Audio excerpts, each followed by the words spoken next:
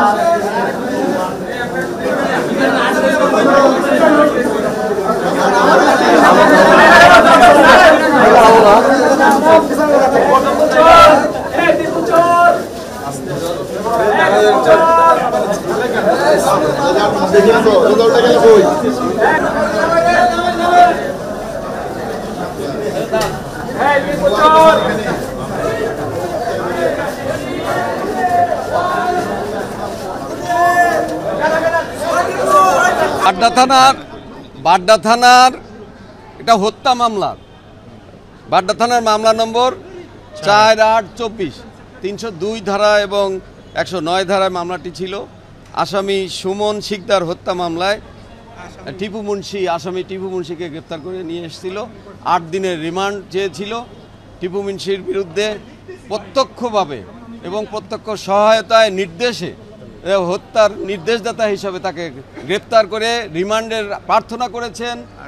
সেইখানে সে সরকারের নানাবিধ অপকর্মের সাথে জড়িত এবং এই সর্বশেষ এই বৈষম্য বিরোধী ছাত্র হত্যা মামলায় এই এই সুমন সুমন শিকদার একজন শ্রমিক ছিল স্বর্ণ শ্রমিক। স্বর্ণের যে শ্রমিক থাকে না সেই শ্রমিক সে তার কাজে যাচ্ছিল। এই সময় তাকে হত্যা করা হয়।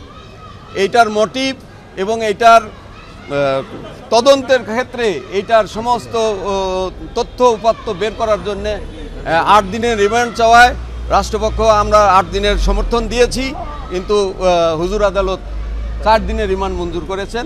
আপনারা ইতিমধ্যে অবগত আছেন যে বাড্ডা থানার চার আট চব্বিশ তারিখে এই মামলায় আজকের যে আমার ক্লায়েন্ট টিপু মুন্সি, উনি আজকে এই মামলায় এজাহারে নাম নাই সাসপেক্টেড হিসাবে এই মামলায় তাকে গ্রেপ্তার করে আট দিন রিমান্ড চাওয়া হয়েছে। বিজ্ঞ আদালতে আমরা বলেছি যে এই মামলায় যে আমার ক্লায়েন্ট এজাহারের নাম নাই, শুধু সাসপেক্টেড হিসাবে, শুধু সন্দেহজনকভাবে এই মামলায় গ্রেপ্তার করা হয়েছে। আমরা বিজ্ঞ আদালতকে এও বলেছি যে তিনশো দুই এবং চৌত্রিশের মামলা। অনুমান বি- অনুমান ভিত্তিক এবং শুধু সন্দেহের কারণে আসামি হতে পারে না।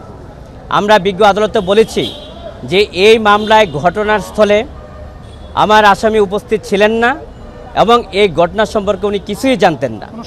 কোনো সম্পৃক্ত ওই আসামির নাই। উনি উনি বারবার পার্লামেন্ট মেম্বার ছিলেন।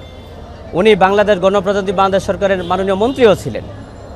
আমরা বলেছি, আমরা বিজ্ঞালতকে এও বলেছি যে রিমান্ড রিমান্ড দেওয়ার জন্য যে সমস্ত উপাদান দরকার, সে সমস্ত উপাদান এই মামলায় নাই। এবং মহামান্য হাইকোর্টের যে আপডেট ডিভিশনের যে জাজমেন্ট সেই জাজমেন্টে স্পষ্ট বলা আছে যে যদি আসামি বয়স্ক হয়, নারী হয়, শিশু হয়, তাহলে তাদেরকে রিমান্ডে নেওয়া যাবে না। আমরা বিজ্ঞ আদালতে সে সাবমিশন রেখেছি। যে আমার আসামি একজন বয়স্ক এবং অসুস্থ এবং রিমান্ড নেওয়ার মতন ওনার কোনো যুক্তিকতা নেই। কিন্তু বিজ্ঞ আদালত উভয় পক্ষের শুনানি আনতে আট দিন রিমান্ড চাওয়া হয়েছিল আয়ুষ নির্দেশ অনুযায়ী। পরবর্তীতে বিজ্ঞ আদালত চার দিন রিমান্ড মঞ্জুর করেছেন। আমরা বিজ্ঞ আদালতে জামিন চেয়েছিলাম যে উনি পলাতক হওয়ার কোনো সম্ভাবনা নাই। উনি বাংলাদেশের একজন প্রতিষ্ঠিত ব্যবসায়ী এবং বাংলাদেশের পরিচিত মুখ উনি। যদি বিজ্ঞ আদালত জামিন জামিন দেয় যে কোনো কন্ডিশনে যেহেতু তিনি উনি উনি বয়স্ক এবং অসুস্থ, সেই বিবেচনায় আমরা জামিন চেয়েছিলাম।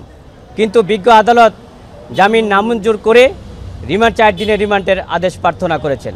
বিজ্ঞ আদালতে আমরা এও বলেছি যে আইন এবং আদালতের প্রতি মানুষের যে শ্রদ্ধা- এবং আস্থা, সেটা আরও বেড়ে যাবে। এবং আজকে যে পত্রিকায় আছে যে মামলা, যেন তেন মামলায় আর যাকে তাকে মন খুশি মতন আসামি করলে আইনের প্রতি, আদালতের প্রতি মানুষের শ্রদ্ধা কমে যাবে, আস্থা এবং বিশ্বাস কমে যাবে। আমরা বিজ্ঞ আদালতকে এও বলেছি যে আইনের প্রতি এবং আদালতের প্রতি যাতে বিশ্বাস মানুষের আস্থা এবং বিশ্বাস থাকে, এবং ন্যায়ের শাসন এবং আইনের শাসন প্রতিষ্ঠিত হয়। যে আমাদের আজকে কয়েকজন বিশেষজ্ঞ আজকে পত্রিকায় কলামও লিখেছে সেই অনুযায়ী আমরা বিজ্ঞ আদালত দৃষ্টি আকর্ষণ করেছি। বিজ্ঞ আদালত বলেছে বিজ্ঞ আদালত বিজ্ঞ আদালত বইয়েও বলেছে যে অত্যন্ত সতর্কতার সহিত এবং রিমান্ডে রিমান্ডে যাতে জিজ্ঞাসাবাদ করা হয় এবং তার প্রয়োজনীয় এবং চিকিৎসাপত্রের জন্য আয়ুষ নির্দেশ দিয়েছেন।